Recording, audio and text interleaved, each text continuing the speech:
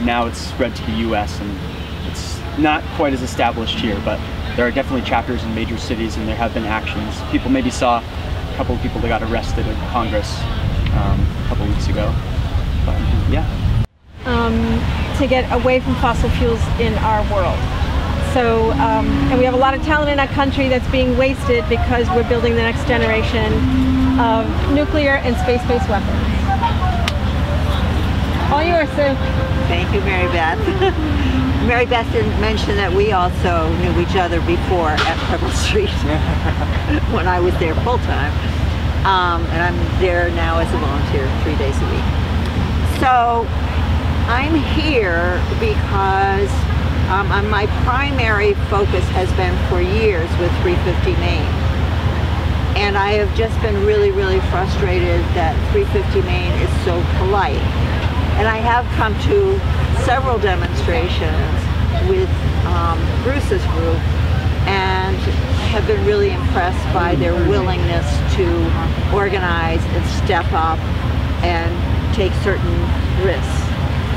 And now I'm no longer the primary caretaker of my grandchildren. They're more independent now. I feel like I am ready to take more risks. And then I met Jordan and um, got really excited about XR. I've been following XR. Thank goodness for electronics, even as frustrating as they are. And um, with through XR, I will soon be getting some training for um, nonviolent um, resistance, and I'm really excited about that. And I'm really excited the, oh, the other piece of the 350 thing is that when 350 decided that they would finally endorse you guys, endorse this movement for the sake of the workers, that got really exciting to me because I think that's some, one of the things that um, people out there have forgotten that if Bath Iron Works can work for the people, can give good work to the workers of Maine. They, they feel take some real pride instead of always just doing war machine. So that's it for me. You're on. I'm Dave Trafton. Uh, I sit with Open Heart Sangha in Yarmouth.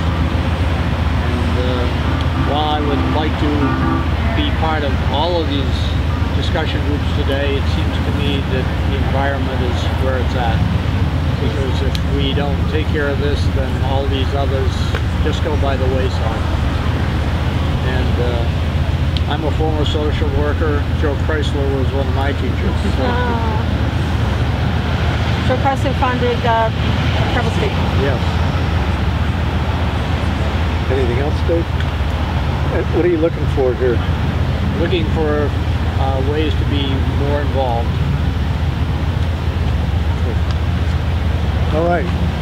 Dan, you want to say anything? Why'd you just stick, walked in, so Why'd you stick your head in this one rather than another one? uh, it's, uh, I don't know. Yeah, I'm uh, certainly uh, issues with with uh, weapons uh, around the world, how it's affecting everybody, how what we the price we pay on a daily basis, and so forth. Um, and it all all has to do uh, combination with, with what's going on in the military, but uh, but with uh, how it influences the environment. All right. Well, let me start with a story about this guy on the camera, Peter Woodruff. Peter, how many years did you work at BIW? 30, 33. 33 years. He re- reti- retired a few years ago. And Peter's been a part of the local peace community for many years, including while he was working at BIW. And he was educating workers inside of BIW all that time that we've known him, which is 10, 12 years, something like that. Uh, he did many, many different things. But the greatest thing he did was he started a petition that said, we BIW workers want to build wind turbines.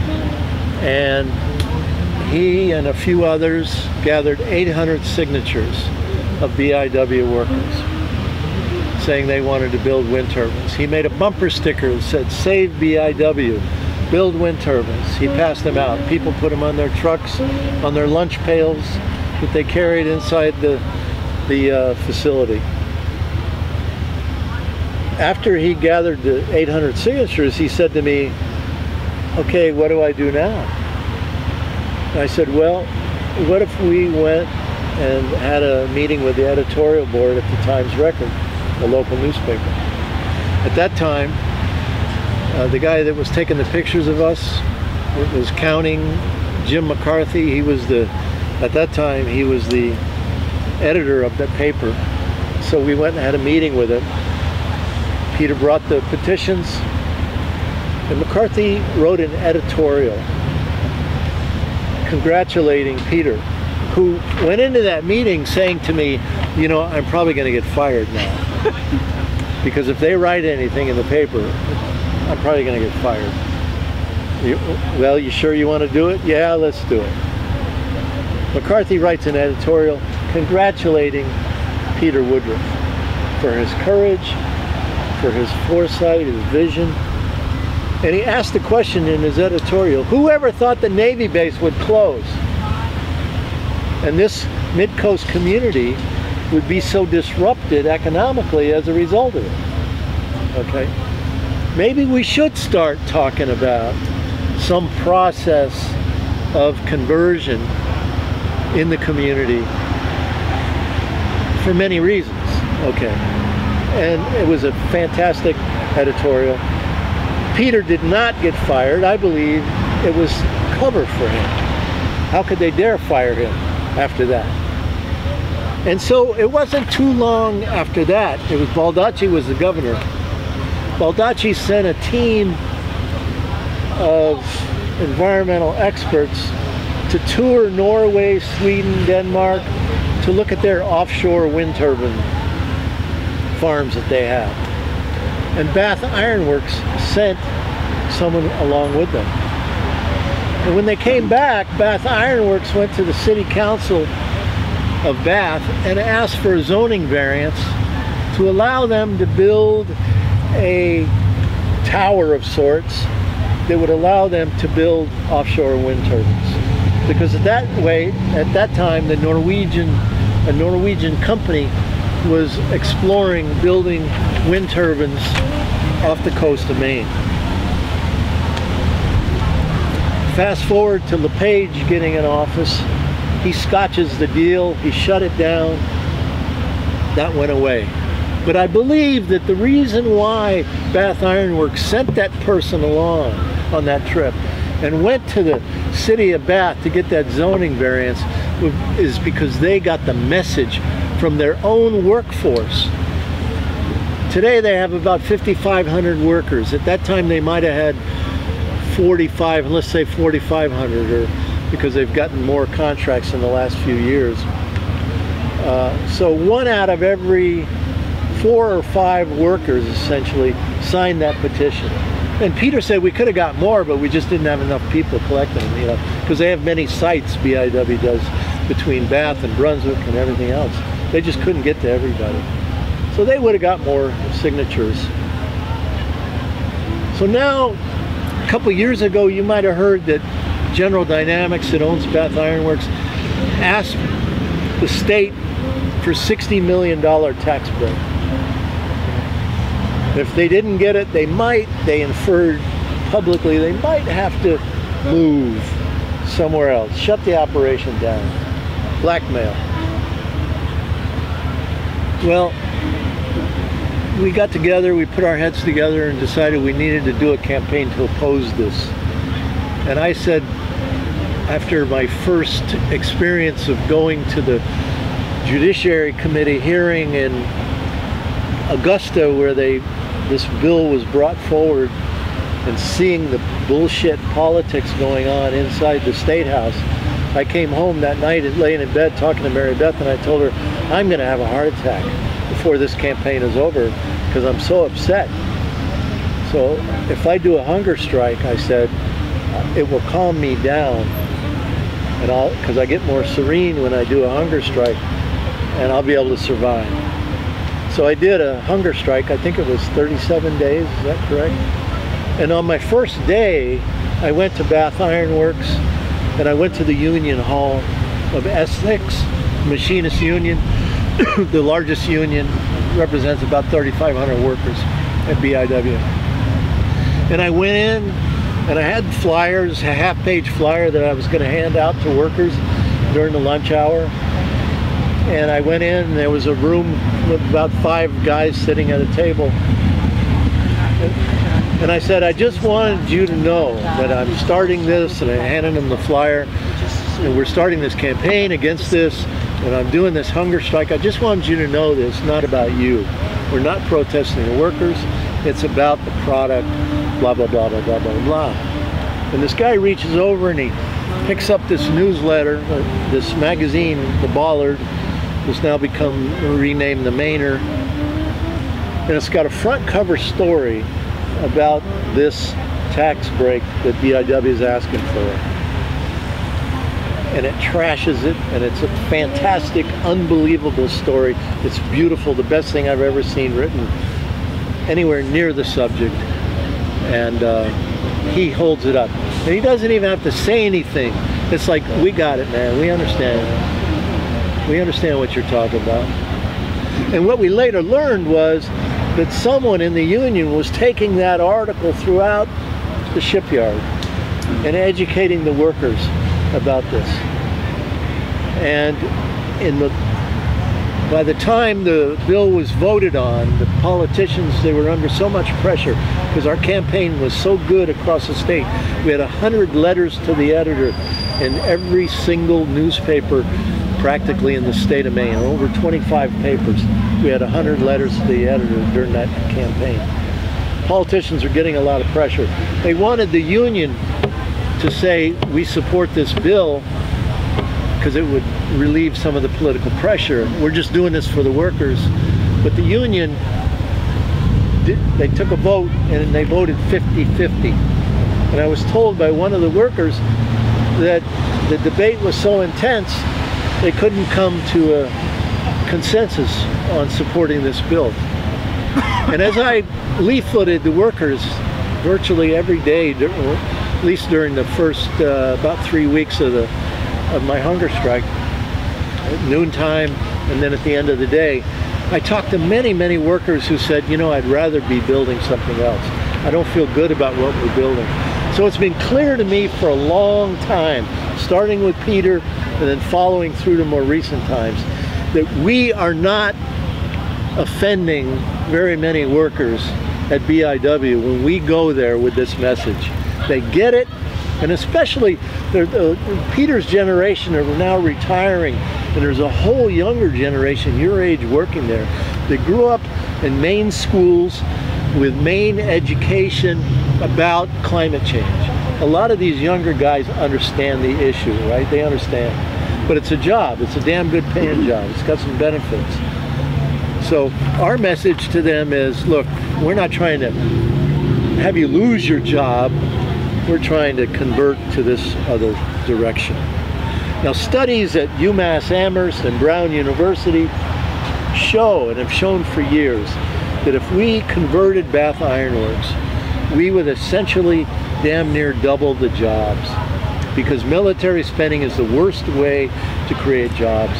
That every other kind of production is labor intensive, whereas military spending is capital intensive. I urge you to look at this banner flapping right here on the edge of the tent when we're done. It was made by Veterans for Peace and it addresses the workers, how we support the workers. We're just trying to build something else uh, in a positive way.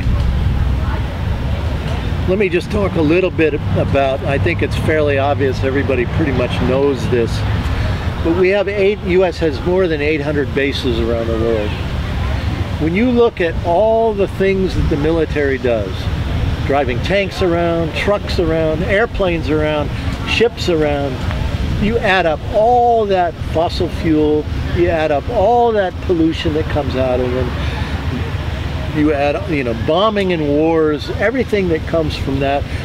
Oil wars, you're bombing oil fields, they're on fire, the pollution from them, it's just a massive carbon boot print by the military, the largest industrial boot print on the planet is coming from the Pentagon. So how in the hell can we dream of dealing with climate change if we don't also include this military connection? And as you well said, Peter, the money, the money is going to the Pentagon. The discretionary budget is the part of the national budget that the Congress actually votes on. The latest figures are 55, 56, 57 cents out of every dollar in the discretionary budget is going to the Pentagon.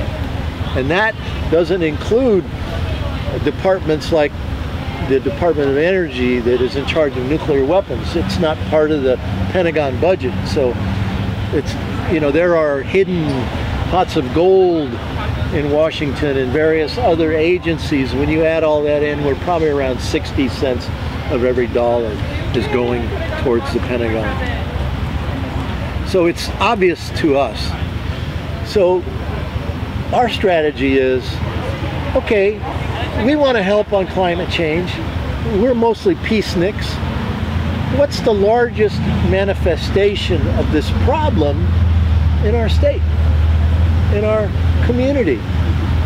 In the old days, when I, uh, some years ago, 20, 25 years ago, they talked about, in the environmental movement, they used the word bioregion. What's in your bioregion? All right, where you live. Deal with that. That's your contribution to the, the global campaign. So what is the largest manifestation of this uh, carbon bootprint in our bioregion? Well, it's Bath Iron Works. And so we decided, let's go there and let's drive this issue. Let's try to make this point. Let's try to uh, show this uh, conversion idea and help the public begin to understand it thinking that if we could build the consciousness amongst the people in our state, then we could possibly turn the politicians in another direction. Get Pingree and Golden and Collins and uh, Angus King, who claims he's an environmentalist, who at one time was talking about offshore wind, but now loves to build, uh, you know, anything military. Uh, so anyway, that's our strategy. So lately, as uh, Rob Shetterly said, we've had 47 people arrested at the end of April and the end of June, a total of 47 people arrested. And uh, uh, in the case of the people in uh, end of April, they dropped the charges unexpectedly. And this time they're lowering the charges to a traffic ticket, to equivalent of a traffic ticket. So uh, they're getting a little bit tired of having us come there and uh, disrupting their christening ceremonies. Uh, but uh, they're also not wanting to give us trials and things like that that give us an opportunity for more media exposure. So we're in the process now of brainstorming our next strategies for action around Bath Iron Works uh, and uh, we've got a lot of artists that are looking into new creative uh, ways of uh, using art and street theater and everything else uh, to take this message out uh, in the community. So I'm going to stop there. How, what time is it now?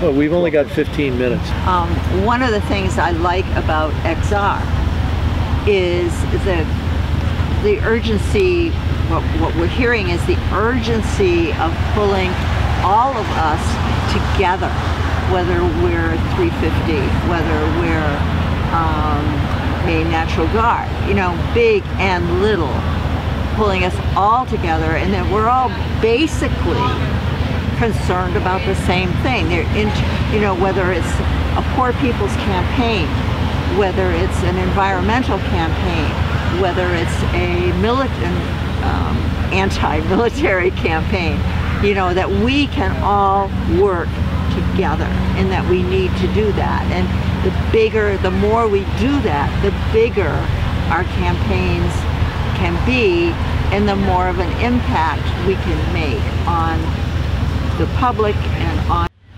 for that. Yeah, that, Yeah. that's what they're trying to do. Is they're trying to bring together groups to craft a list of demands Yeah. for the strike. Um, it's, it's called a strike, but it's going to be more of a rally and a Yeah. protest in, Yeah, in front of City don't Hall in, even know Bruns- in if- Portland.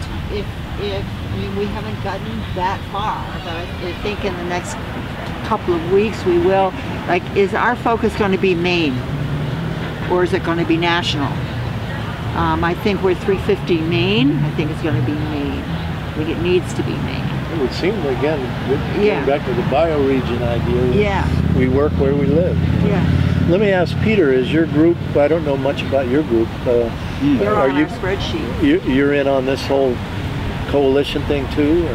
Um, I would say yes and no. Um, Citizens Climate Lobby is laser focused on um building relationships with members of Congress. So we would disagree with Frederick Douglass. We would say that the only way you influence people is by, well, I shouldn't put it exactly that way. We're, we're in favor of direct act, nonviolent action, but we're not part of that. We do not take part in street protests. We work inside the halls of Congress member of Congress by member of Congress, with all members of Congress, uh, to get them to uh, do adopt a, an effective policy to reduce carbon emissions that also incorporates social justice. One comment I have, I would urge, if you haven't done it already, I think a very important website um, that you should check out is uh, is at Brown University. Brown University has the Watson Institute, but if you just Google costs, costs plural, costs of war at Brown University, um, they they have a lot of really important data um, reflecting the uh, carbon footprint um, that the military, uh, the Pentagon, leaves across the world. So it's really, if you really want to understand the climate issue, understanding the Pentagon's influence or the war influence on that issue is really critical. Uh, of course, this website also looks at the, excuse me, the human costs of war, but they have uh, important data in terms of uh, the costs of war, costs is plural, um, at Brown University, the Watson Institute. Um, it's important data. It's if you want to be doing data-driven work, uh, they offer really a really clear perspective on um, on the ravages of war on the environment. Um, yeah. Uh, they and they also, um, if you ha- you have to dig deep for this, but they it, the study that Bruce is talking about. There's a woman who works with them called um, Heidi Peltier, and she can articulate beautifully um, how much more productive our workforce would be if we were building anything other than military weapons. So we're almost out of time. Jordan, you want to say anything before we? Um, I guess, yeah. I, if if we don't uh, meet up to talk about the September 20th strikes, if that doesn't end up happening, I do think it definitely makes sense to have some sort of convergence of ecologically minded, anti-war minded, social justice minded groups in Maine that are focused on building campaign under like the intent of ecological justice. And um, yeah i definitely like to stay in contact. And I, I will say haven't spoken much about the other organization that i'm a part of but i am a member of the dsa and we're having our national convention this weekend and it looks like we're poised to endorse a eco-socialist green new deal um, at the convention and perhaps like, shift a major portion of our work to focusing on um, ecological justice so that's also, also going to be a major ally hopefully in this and So, are you talking today and tomorrow, or it's next weekend? the convention is happening right now Right now. yeah Okay. yeah We're at. uh, atlanta Oh.